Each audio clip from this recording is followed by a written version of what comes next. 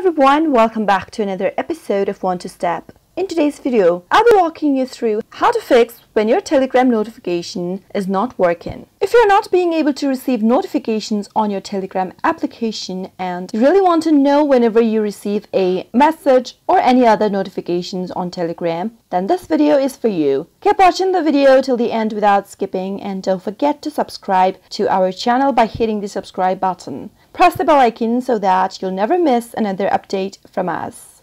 First thing to do, make sure the latest app version is installed on your device. Go to your Play Store or your App Store and search for Telegram in the search box. Check if there's any updates available. If it is, then you will know. Right in this page, you'll be able to see an update button as well if the updates are available. Since I already have updated my Telegram to the latest version, another thing to check is to make sure your notifications are on in Telegram and also in your phone settings. Let us first go to the Telegram application and sign into the account if necessary. Once you do that, go to the hamburger menu at the upper left corner and from this page, tap on Settings. Scroll all the way down and under Settings, you'll be able to see Notifications and Sound option at the very top, right here. Simply give it a tap and under Notifications for Chat, make sure to enable all these buttons if they are not. If you turn on the private chats button, then you'll be able to receive notifications whenever you receive a private chat on Telegram.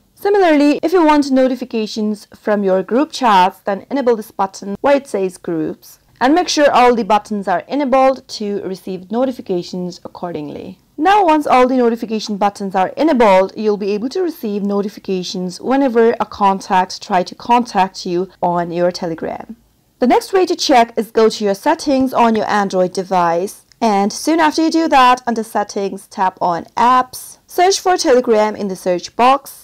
Once you do that, go all the way down and under app settings, tap on notifications. Make sure your show notifications button is enabled in this page and once you make this change in the phone settings, you'll be able to receive notifications from your Telegram. That was pretty quick and easy, wasn't it? I hope the tutorial was helpful to you. If it was, go ahead and give it a thumbs up. Feel free to comment down in the comment box if you have a question or a feedback for us.